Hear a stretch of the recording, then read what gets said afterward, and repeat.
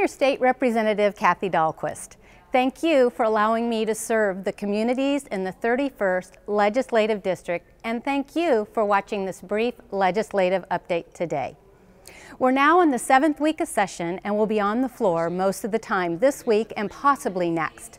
As you may know, I came into the legislature with high hopes that we could find solid solutions to the issues we are facing, despite our budget situation.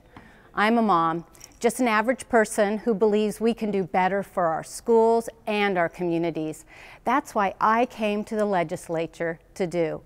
I ran on a platform updating our current school model and giving our schools choice. While some good has happened, I believe some opportunities have been passed us by, such as House Bill 1609 and House Bill 1414.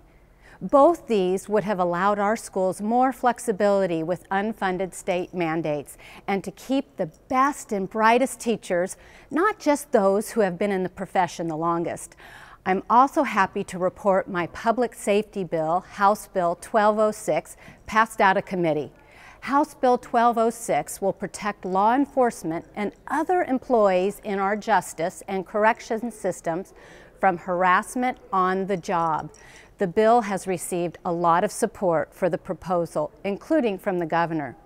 Finally, the budget adjusted bill, House Bill 1086, was reconsidered by the legislature last Friday.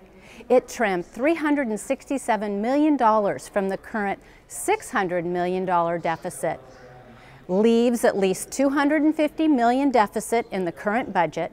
I could not support it for two main reasons no reforms to unsustainable programs, and it retroactively cut $25 million from education.